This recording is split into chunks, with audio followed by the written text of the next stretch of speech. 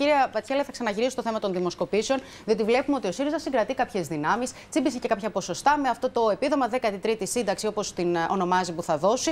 Ε, δεν βλέπουμε κάποιο καζάνι που βράζει, όπως λέει το Κομμουνιστικό Κόμμα.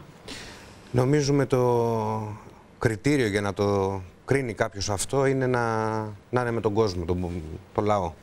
Να είναι με την νεολαία, ε, που μπορεί να μην το εκφράζει άμεσα σε πολιτική επιλογή και στάση πάντα, αν και ας περιμένουμε το τι θα γίνει τελικά και στις ευρωεκλογές, στις δημοτικές και περιφερειακές. Το σίγουρο είναι όμως ότι πάρα πολλοί κόσμος συζητάει κάτι πρέπει να γίνει, κάτι πρέπει να αλλάξει ριζικά.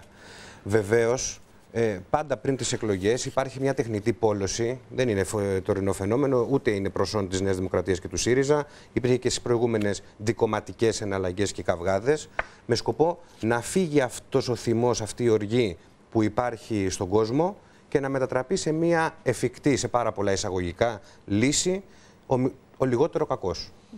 Κατά τη γνώμη μας, και νομίζω ότι είμαι και στην ευχάριστη θέση να πω ότι ένα πολύ μεγάλο κομμάτι της νεολαίας ε, φεύγει από αυτή τη μιζέρια. Φεύγει από αυτή τη μιζέρια του να λέει ότι θα επιλέξω αυτόν που είναι λιγότερο κακός από τον άλλον.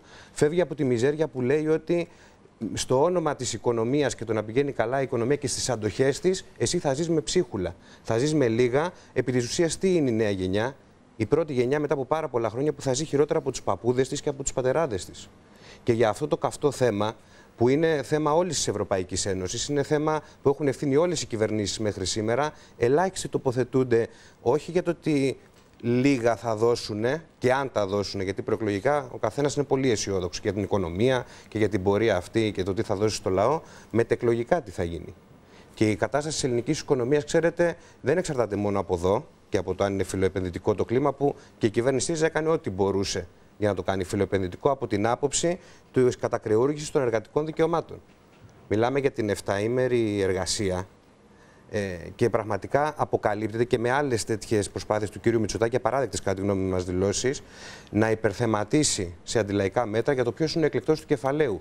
Πλέον ο ΣΥΡΙΖΑ έχει βάλει πάρα πολύ ψηλά τον πύχη για το τι θα κάνει αυτός που πρέπει να είναι εκλεκτός του κεφαλαίου, τι θα τάξει σε αυτούς. Από αυτή την άποψη, επειδή 26 του μήνα θα γίνουν εκλογές, 27 του μήνα εδώ θα είναι αυτά τα αντεργατικά μέτρα, θα είναι τα μνημόνια διαρκείας της Ευρωπαϊκής Ένωσης. Το ζήτημα είναι να έχουμε δυνατή εργατική λαϊκή αντιπολίτευση από το μόνο κόμμα, αυτό μπορεί να την ενισχύσει, που διαφωνεί επί της ουσίας με όλο αυτό το Μάλιστα. πλαίσιο κατάστασης ζωής της εργατικής λαϊκής οικογένειας και της Να σας ευχαριστήσω πολύ. Για ποιο λόγο λέτε στους πολίτες να ενισχύσουν το Κομμουνιστικό Κόμμα στην Ευρωβουλή, δεδομένου ότι λέτε αποδέσμευση από την Ευρωπαϊκή Ένωση; Ναι, νομίζουμε ότι το ΚΚΕ είναι πάρα πολύ καθαρό στις θέσεις του για την Ευρωπαϊκή Ένωση, όχι τώρα που τη ζήσαμε στο πετσί μας και πλέον υπάρχει, νομίζω, πάνω από 70% από ευρωβαρόμετρο δυσαρέσκειας και μη εμπιστοσύνης στην Ευρωπαϊκή Ένωση από όταν πρωτοδημιουργήθηκε η ΕΟΚ, ακόμα και, και νωρίτερα.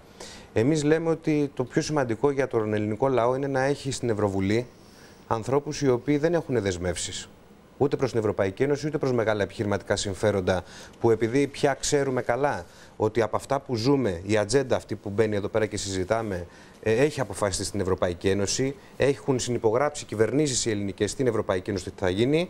Καλό είναι να έχεις ανθρώπους μάτια και αυτιά του ελληνικού λαού εκεί, ε, που δεν θα αφήνουν περιθώριο για αεροποιήσει, για να κρυφτούν πράγματα, αλλά να ξέρουμε καθαρά τι θα γίνει. Εμείς απευθυνόμαστε ειδικά σε αυτόν τον κόσμο που δεν έχει εμπιστοσύνη. Βλέπετε ότι όλα τα κόμματα πια μιλάνε για την ανάγκη, επειδή το καταλαβαίνουν αυτό, η Ευρωπαϊκή Ένωση να αλλάξει. Κανείς δεν βγαίνει να την υπερασπιστεί με πάθος. Γιατί πλέον είναι αποδεδειγμένη η κατάσταση που έχει φέρει όχι μόνο τον ελληνικό λαό, που κι αν έχουμε πάθει από την Ευρωπαϊκή Ένωση και από αυτές τις πολιτικές, αλλά όλους τους λαούς της Ευρώπης. Το ζήτημα εμείς λέμε ότι είναι να μην εγκλωβιστεί αυτή η δυσαρέσκεια που είναι δικαιολογημένη χίλια δίκαια, δηλαδή έχει ο κόσμος να το λέει, ούτε στην ε, λογική ότι θα βαθύνουμε την ενοποίηση της Ευρώπης και θα είναι καλύτερα, ούτε στη λογική ενός αστικού ευρωσκεπτικισμού, που τελικά είναι οι δύο όψεις του ίδιου νομίσματος, που λένε ότι για τα ευρωπαϊκά μονοπόλια πρέπει να θυσιάζονται οι θυσίες ε, των λαών, των ευρωπαϊκών. Υπάρχει άλλη λύση. Εμείς δεν είμαστε με την απομόνωση. Απομονωμένοι σήμερα είναι ο κόσμος από κοινωνικά δικαιώματα, μορφωτικά, εργασιακά. Απομονωμένοι είμαστε όταν εντός του ΝΑΤΟ γίνεται αυτή η κατάσταση με την Τουρκία και την αυξημένη επιθετικότητα. Απομονωμένοι είναι ο Κυπριακός λαός που υπάρχει κατοχή τόσα χρόνια εντός του ΝΑΤΟ και στα πλαίσια της Ευρωπαϊκής Ένωσης. Αυτή είναι η πραγματική απομόνωση. Εμείς μιλάμε για να ανοίξει ο δρόμος πέρα το ότι το πιο ισχυρό κουκουέ στην Ευρωπαϊκή Ένωση είναι ένα πολύ δυνατό έστω κουκουέ, είναι πασιφανές αυτό, ε, να ανοίξει και ο δρόμος για την πραγματική συνεργασία των λαών της Ευρώπης για μια Ελλάδα και Ευρώπη του σοσιαλισμού. Βεβαίως αυτό είναι ένας πολύ υψηλός στόχος, αλλά ο κόσμος πρέπει να είναι σίγουρος ότι δεν το παλεύουμε μόνο στην Ελλάδα, όσοι το παλεύουν. Είναι πολλές δυνάμεις σε όλη την Ευρώπη, στην Ευρώπη την Ήπειρο και στην Ευρωπαϊκή Ένωση ε, που αγωνίζονται σε αυτή την κατεύθυνση και αυτό θα είναι το πραγματικά ελπιδοφόρο για την επόμενη μέρα.